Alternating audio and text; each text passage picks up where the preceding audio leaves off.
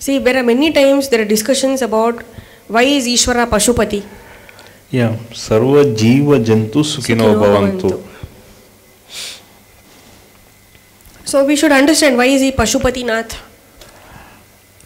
ಆ ಪಶುಲ್ ನಾವು ಒಬ್ಬರು ಅಷ್ಟೇ ನಮಗೆ ಡಿಫ್ರೆಂಟಾಗಿ our constitution of our body is different It is the uh, evolve, uh, evolvement of a microorganism, not only as a human being, the microorganism is the jiva. That is called uh, intellectually as a microorganism. Organism is different. Microorganism is jiva jantu. It is the chaitanya. The microorganism is the chaitanya in a jiva. Okay, that's what it is done. Good, go ahead, tell. So, we should understand that so everybody is a part of our our universe ಅನ್ನೋದನ್ನು ನಾವು home ಅಂದರೆ ತಗೋಬೇಕು. ಕನ್ಸಿಡ್ರೇಷನ್ಗೆ we are not even considering another human being as a part of us forget about animals like I saw that whatever ಇಲ್ಲಿ I got really scared immediately Sundarashankar ಹಿಂಗೆ volunteer ಮಾಡಿದ್ರು knowing my nature and I happily gave the tea cup So that is still animal, but I'm saying that human beings also we don't consider. That's why Guruji said go to temple, distribute, go to temple, distribute. In fact, I had jigna, I did jignasa about that also with Guruji using my logic. ತರ್ಕ ಮಾಡಿದೆ ಗುರುಜಿ ಹೇಳಿದೆ Guruji if we go to temple and distribute kumkuma and chandana on our own ಪುರೋಹಿತಾಸ್ will have a problem because usually people will come and put dakshina and then take these ಪ್ರಸಾದಸ್ ನಾವು ಪ್ಯಾರ್ಲಲ್ಲಿ ಹೋಗ್ಬಿಟ್ಟು ಕೊಡೋಕ್ಕೆ ಶುರು ಮಾಡಿದ್ರೆ ಅವ್ರಿಗೆ ದಕ್ಷಿಣ ಹಾಕದೆ ನಮ್ಮ ಪ್ರಸಾದ ತೊಗೊಂಡ್ಬಿಟ್ರೆ they might have a problem ಅಂತ, ಹೌದು ಹೌದು ಅಂತ ನಕ್ಕದ್ರು ಗುರುಜಿ. ಅಂದರೆ everywhere we're thinking like because everybody is thinking about their own plate their own money their own ಇದು. ಸೊ ಅದೇ ನೋಡಿ, ಗುರು ಸನ್ನಿಧಿದಲ್ಲಿ ಅವೆಲ್ಲ ಆಗಲ್ಲ. Saibaba temple you go always they'll distribute biscuits peda. North Indian temples also anybody is giving anybody Kashi we had a wonderful experience we were happily distributing everybody was accepting ನಮ್ಮಲ್ಲಿ ಮಡಿ ಮೈಲಿಗೆ ಜಾಸ್ತಿ ಸೊ ನಾವು ಕೊಟ್ಟರೆ ಪೂಜೆ, ಅವ್ರು ಪೂಜೆ ಮಾಡಿಲ್ಲ ಅಂದರೆ ಇಸ್ಕೊಳ್ಳಲ್ಲ ನಾನು ಇನ್ನೂ ಪೂಜೆ ಮಾಡಿಲ್ಲ ಅಂತ ಹೇಳ್ತಾರೆ ಕೈಯೆಲ್ಲ ಇದಾಗತ್ತೆ ಅಂತ. ಪ್ರಸಾದ ಅಂತ ತಕ್ಷಣ ತೊಗೊಳಲ್ಲ, ಅದರಲ್ಲಿ ಯಾವುದೋ ಜನ್ಮದ ಪ, ಕರ್ಮ ಹೋಗ್ಬಿಡುತ್ತೆ ಅನ್ನೋದೆಲ್ಲ ಇಲ್ಲಿ ನಮಗೆ ಅಷ್ಟು ಇದಿಲ್ಲ. ಕರ್ಮಕ್ಕೆ ಜಾಸ್ತಿ ನಾವು importance there we gave to so many people who had not performed their abhisheka who are waiting for their turn but we had finished ours so we gave happily the took ಪ್ರಸಾದೇ, ಗ್ರಹಣ್ ಕರೆಗೆ ಅಂತ. So that that thing is not there in us. So, every, that's why Guruji said, go, shed your inhibitions, go and give. Let them say they don't want, you go and give. Let them, let the temple come and tell you don't distribute, but you go and give first. So that kind of volunteering thing should come because after all that place is a place where people come with their problems. See, whether God is there or not is secondary. People come there for their peace of mind. ಅಂಥ ಜಾಗದಲ್ಲಿ ಹೋಗ್ಬಿಟ್ಟು ಅವರು ಅವರ, ಏನಿಲ್ಲ ಅಂದರೂ ತೊಂದರೆನ ಒಂದು ಹತ್ತು ನಿಮಿಷ ದೇವರ ಹತ್ರ ತೋಡ್ಕೊಂಡು ಮನಸ್ಸು ಭಾರ ಇಳಿಸ್ಕೊಂಬರೋ ಅಂಥ ಜಾಗ. It has to be a divine place it has to be an ashram, ಶ್ರಮನ ತೆಗೆಯುವಂಥ ಜಾಗ. ಅಂಥ ಜಾಗಕ್ಕೆ ಹೋಗಿ ಸೇವೆ ಮಾಡಿದ್ರೆ ನಮಗೆ ಕಂಪ್ಯಾಷನ್ ಅನ್ನೋದು ಹೆಚ್ಚಾಗಿ ಬೆಳೆಯುತ್ತೆ. ಯಾಕೆಂದರೆ we have to develop that sensitivity ಅಂತ ಗುರುಜಿ ಹೋದ್ವಾರ ಅದನ್ನು ಹೇಳಿದ್ರು. ಈಗ ಪ್ರವೃತ್ತಿ ನಿವೃತ್ತಿನ ನಾವು ಯಾವಾಗಲೂ ಹೇಳಿದ್ದೀವಿ ಪ್ರವೃತ್ತಿ ಅಂದರೆ ನಾವು ಆ್ಯಕ್ಟಿವ್ ಆಗಿ ಮುಂದೆ ಹೋಗೋದು, ನಿವೃತ್ತಿ ಅಂದರೆ ವಿಡ್ರಾ ಮಾಡ್ಕೊಳ್ಳೋದು. ಯಾವಾಗ ವಿಡ್ರಾ ಮಾಡಬೇಕು, ಯಾವಾಗ ಮುಂದೆ ಹೋಗಬೇಕು ಅನ್ನೋದು ಸೂಕ್ಷ್ಮ we should have but even in dharma there are so many sukshmas regarding pravritti nivritti which is ಪುಣ್ಯ ಅದ್ರ ಕಡೆ ಪ್ರವೃತ್ತಿ, ಯಾವ್ದು ವಿಧಿನೋ ಅದ್ರ ಕಡೆ ಪ್ರವೃತ್ತಿ ಮಾಡಬೇಕು.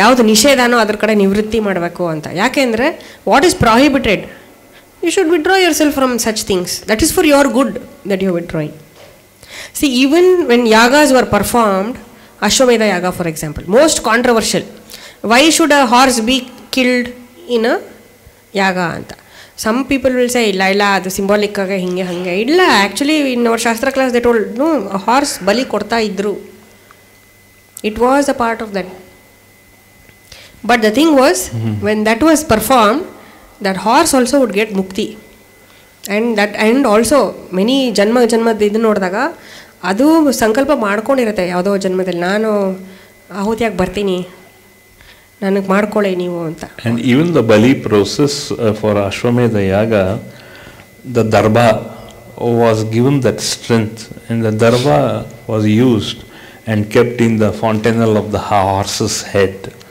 And when that uh, charge was released in the fontanel of the horse's head, then it used to fall dead.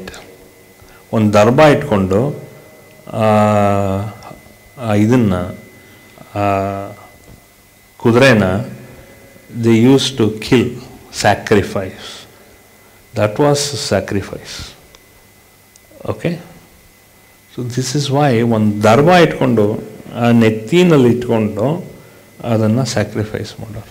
ಅದಕ್ಕೇನು ಅಹಿಂಸೆ ಅಹಿಂಸೆ ಅಂತ ಸುಮಾರು ಜನ ಮಾತಾಡ್ತಾರೆ. It is not that they had that kind of a power they use to infuse the darbha okay ಆ charge ಇಟ್ಕೊಂಡು ಅದನ್ನು ಡಿಸ್ಚಾರ್ಜ್ ಮಾಡೋರು ಈ ನೆತ್ತಿ ಬಾಯಿನಲ್ಲಿ.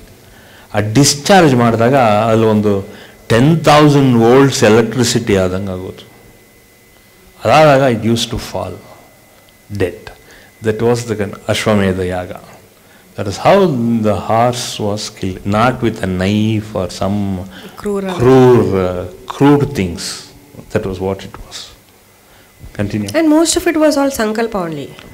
See, for how many times we have made Sankalpa? Oh, uh, for example, uh, I want to, ನಾನು ಕೊನೆ part of my life I want be in Kashi I want die in Kashi how many ಪೂರ್ವಿಕರು ಆ ಥರ ಹೇಳಿರೋದು ನಾವು ಕೇಳಿದ್ದೀವಿ ಕಾಶಿಲಿ ಸಾಯಕ್ಕೆ ಅಂತ ಹೋಗೋರು So everybody has some uh, personal ichcha, no? Whether that ichcha is based on uh, or ajnana is something that we have to figure out. Yeah. So like that, if this horse has made a sankalpa that it has to sacrifice its life in, in some other life, in some other life, yeah. for a yajna, mm. then it is its ichcha, and that is why only that horse is chosen and not some other horse. So ಇದೆಲ್ಲ ನಮಗೆ ಗೊತ್ತಾಗಲ್ಲ. ನಾವು ಬರೀ ಹಿಂಸೆ ಅಹಿಂಸೆ ಈ ಥರದ್ದೇ ಮಾತಾಡ್ತೀವಿ ನಾವು. ಅಷ್ಟೇ ಬಂದರೆ ನಮಗೆ ನಿರಕ್ಕೆ if you want condemn something that is power of sankalpa is so much it can become anything if you see all the comics about thought about Batman all the other western comics you will understand that was the kind of a charge they used to have. This is all taken from our Sanatana Dharma only, from all our uh, mystical mythology. it is called as mystical mythology. Mythology is a very wrong word, not properly grasped, but it is called as mystical mythology. Mysticism, and the part of mysticism is mythology. Okay? Continue. So uh, that we have to understand. Like, so there is so much mysticism involved in whatever is happening.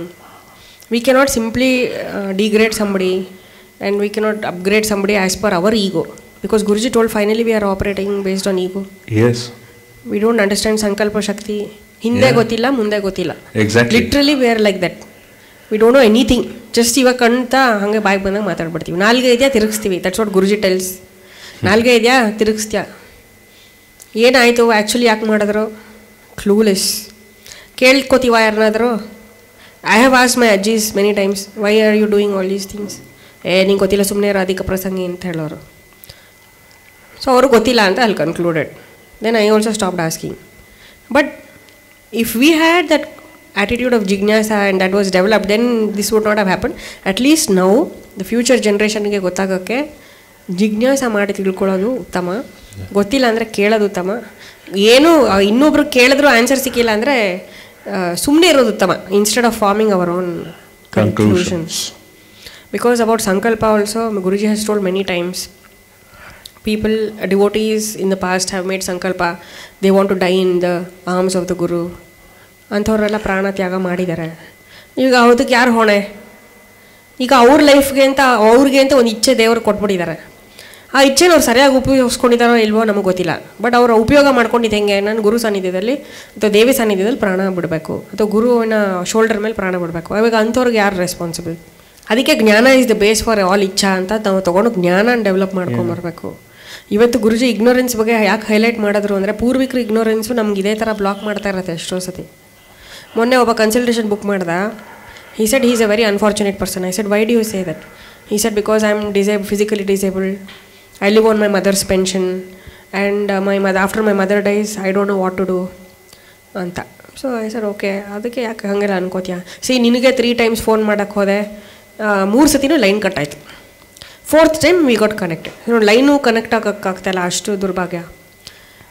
Okay ನಾನು ಸುಮ್ಮನೆ ಕೇಳಿಸ್ಕೊಂಡೆ ಪಾಪ ಅವ್ರೇನೋ ಹೇಳ್ತಾ ಇದ್ದಾರೆ ಅಂತ. ಆಮೇಲೆ he told ನಾನು ಇನ್ನೂ ಎಷ್ಟು ದುರ್ಭಾಗ್ಯ ನನಗೆ ಅಂದರೆ ನಾಲ್ಕು ಸತಿ ಸೂಸೈಡ್ ಅಟೆಂಪ್ಟ್ ಮಾಡ್ಕೊಂಡಿನಿ, ಆದರೂ ಸತ್ತಿಲ್ಲ ಅಂತ. ನಾನಂದೆ ಅದೇ ಸೌಭಾಗ್ಯ ಅಂತ. ಯಾಕೆಂದರೆ ಒಂದು ಸತಿ ಸತ್ತ ಮೇಲೆ ನಮಗೆ ಏನಾಗುತ್ತೆ ಅನ್ನೋದು we think our life is good be better we are escaping from this life ಆಮೇಲೆ ಏನಾಗುತ್ತೆ ಅನ್ನೋ ಸೂಕ್ಷ್ಮ ನಮಗೆ ಗೊತ್ತಿಲ್ಲ. We don't see from all angles only the guru sees and tells us no no no never commit suicide how many times Guruji has told don't commit suicide that is all sukshma we don't know ಲೈಫೇ ಏನೊಂದು ಗೊತ್ತಿಲ್ಲ. After life ಅಂತೂ we have no idea at all so basically in today satsang what I understood is light in all aspects of life is important. That comes over a period of time through sadhana and seva and jnana many times when we are doing seva and sadhana only jnana ನಮಗೆ ಒಳಗಿಂದ ಬರುತ್ತೆ. ಬರುತ್ತೆ. ಕೆಲವು ಸತಿ ಈ ಥರ ಹೊರಗಡೆಯಿಂದ externally we are fed with wisdom through satsangs through pravachanas through Bhagavat katha whatever we listen ಅದರಿಂದ ನಮಗೆ ಬರುತ್ತೆ. Finally what we when we absorb that ಒಳಗಡೆಯಿಂದ ಪ್ರೇರಣೆ ಆದ್ರೂ ನಮಗೆ ಇವಾಗ ಕವಿತೆಗಳು ಬರೀತಾರೆ ಕೆಲವರು. ಅವ್ರ ಒಳಗಿಂದ ಪ್ರೇರಣೆ ಆಯಿತು. ಅದು ಆಚೆ ಭಾಷಾ ರೂಪಕ್ಕೆ ಬಂತು. Again that mind their own mind will absorb that again ನಾನು ಹಿಂಗೆ ಬರೆದಿದ್ದೀನಿ, ಇದೇನಿದೆ ಈ ಥರ